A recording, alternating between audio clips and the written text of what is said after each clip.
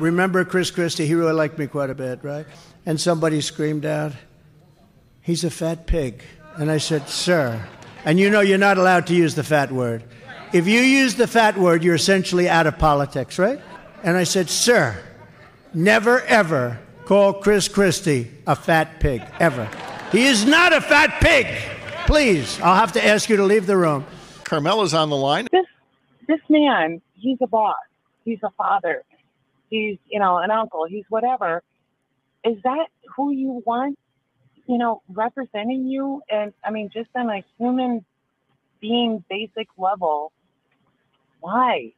Why would you do this? And it, just, when I hear them laughing at him inferring that somebody else was calling Christie fat, it, it just, it makes my stomach turn every single time.